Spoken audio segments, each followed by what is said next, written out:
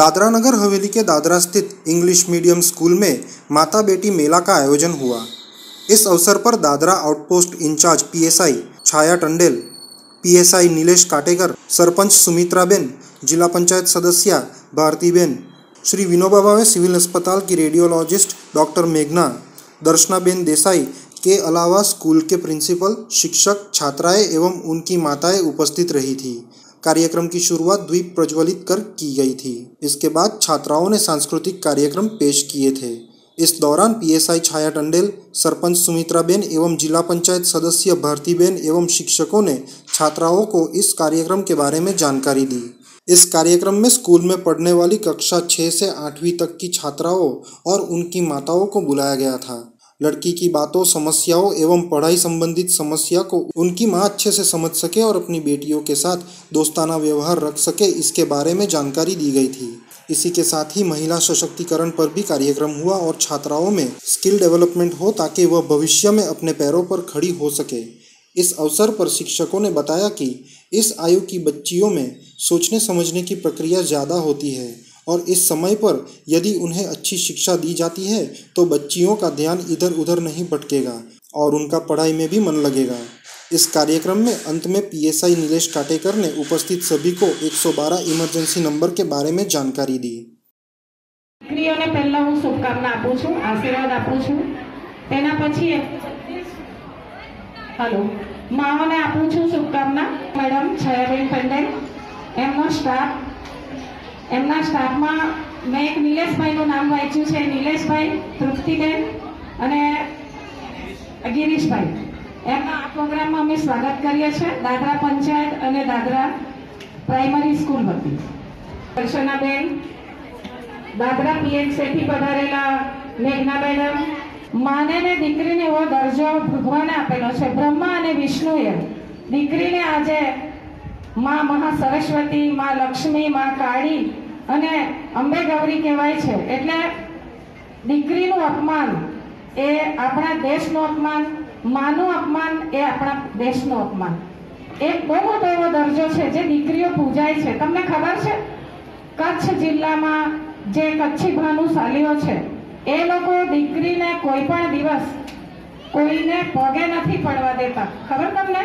કોઈ પણ દીકરી હોય, મોટી હોય ઉંમરમાં સો વર્ષની તે એકદમ વૃદ્ધા અવસ્થામાં હોય કે તરત જન્મ લેનારી દીકરી હોય, એવી કોઈ પણ દીકરી હોય, એને સામેથી આપણા જે જે પણ ભાઈઓ છે, એ એ માતાને પગે પડે છે. એટલે આપણે જેમ ગમે તેને પગે પડી ગયે ને, કે આ વડીલ છે તો આપણે પગે પડવાનું એ લોકોની જાતમાં એવું છે કે દીકરીને જ પગે પડવાનું. જો યહાં પે જો પ્રોગ્રામ રખા હૈ કે મધર્સ એન્ડ ડોટર્સ કા મિલન હમ हम हमेशा मतलब डेली माँ माँ के साथ ही रहते हैं। लेकिन सर ने बताया कि यहाँ पे क्यों हमें यहाँ पे इकट्ठा किया गया।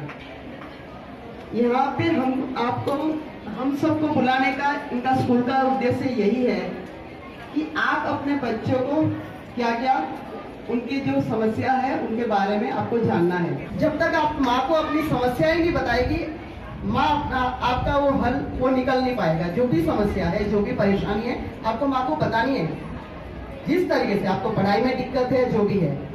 क्योंकि पहली आपकी जो गुरु है, शिक्षा मतलब टीचर्स वो आपकी मदर है। और नेक्स्ट टीचर आपकी जो आपको पढ़ा रही है स्कूल में, वो आपकी टीचर है। अगर कोई बात ऐसी है जो आप माँ से नहीं बता पाओगे, वो आप अपने टीचर को बताओगे। तो यहाँ पे जो मिलन रखा गया है, वो अच्छी बात है। कि आपको अवेयरनेस होगा और आप अपनी समस्याएँ अपनी माँ को बता पाएगी। और उसके अलावा ये है कि ये जो एज है आपकी 11 से 14 साल की वो एक फिजिकली चेंज भी आप लोगों के बीच में आ, आता है। आप में सर बहुत सारी ऐसी चीज़ें भी जो आप नहीं शेयर कर पाओगी। किसी और को नहीं, अपनी फ्रेंड को भी नहीं बता पाओगी। हो सकता है शायद आप अपनी माँ को भी नहीं बता पाओगी। लेकिन जो भी समस्या है, हमेशा अपनी माँ को, अपने पेरेंट्स को बताना चाहिए। क्योंकि आपकी माँ को बताओगे तो माँ आगे आके जो भी समस्या है, जो चाहे हमारे लेवल की है, या डॉक्टर के लेवल की है टीचर्स के लेवल की वो आप, वो आपकी माँ ही है जो आपके लिए आगे आएगी। जो व्यक्ति होगी, वो आपकी माँ होगी। तो वो आपके लिए हमेशा आगे आएगी। चाहे जिस तरह की समस्या होगी, आप जब तक माँ को नहीं बताओगे, माँ माँ कैसे जान पाएगी? आपका।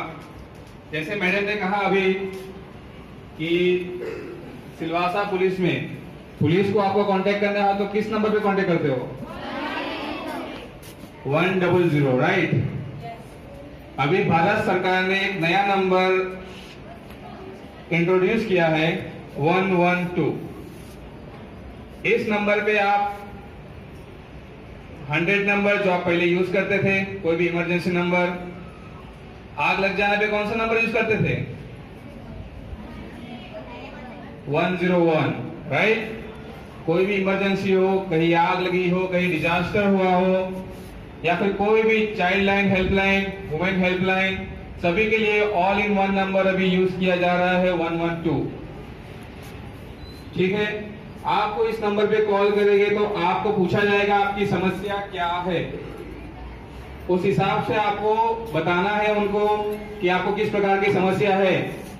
कहीं आपको पुलिस की मदद चाहिए, एंबुलेंस चाहिए 108 नंबर जो एंबुलेंस का था, वो भी मर्ज किया गया है इसके अंदर। तो आपको एक सिंगल कांटेक्ट है यहाँ पे पॉइंट ऑफ़ कांटेक्ट 112 जहाँ पे आपको सभी कांटेक्ट यहाँ पे आपको उपलब्ध किए जाएँगे। जैसे पुलिस का हो, एंबुलेंस का हो, फायर हो, चाइल्ड हेल्पलाइन हो, सभी कांटेक्ट यहाँ पे उपलब्ध किया जाएँगे। तो मैं आप सभी को रिक्वेस्ट करता हूँ कि आप सभी इस नंबर की यूज़ कीजिए। For the trial base even आप ट्राई कर सकते हो ये नंबर को डायल करके कि आपको किस प्रकार की सहायता इसके ऊपर उपलब्ध हो सकती है। ये हमारे एसपी साहब ने और डीवाईएसपी साहब ने, सभी ने इस प्रकार की सूचना हर एक स्कूल में, हर एक बच्चे को, हर एक पेरेंट्स को, हर एक टीचर को एवरी सिंगल पर्सन को ये इंफॉर्मेशन जानी चाहिए, ताकि इसका यूज़ हर एक देश का नागरिक कर सके। सिलवासा में ये जो सुविधा है, एक अभी अभी स्टार्ट की गई है और काफ़ी अच्छे से चल रही है। So I request all of you that please please please use one one two for any emergency help okay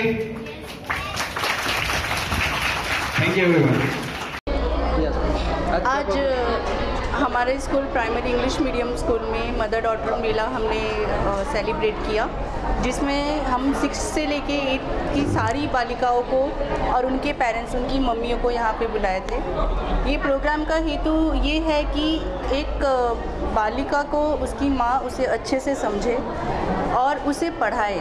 women empowerment पे भी एक प्रोग्राम आता है। प्लस हम चाहते हैं कि गर्ल्स में एक स्किल डेवलप हो, जिससे कि इन केस अगर फ्यूचर में वो जॉब ना कर सके या किसी कारण उनकी पढ़ाई रुकती है तो भी वो जो उनकी आजीविका है वो चला सके, वो कुछ काम कर सके, एक अच्छी तरह से अपनी ज़िंदगी जी सके। इस प्रोग्राम के चलते हमने हमारे आउट दादरा आउटपोस्ट की पीएसआई मैम श्रीमती छाया बेन को बुलाया था। हमारी भारतीय बेन भी आए थे। सुमित्रा मैम जो कि यहाँ के सरपंच है, वो भी आए।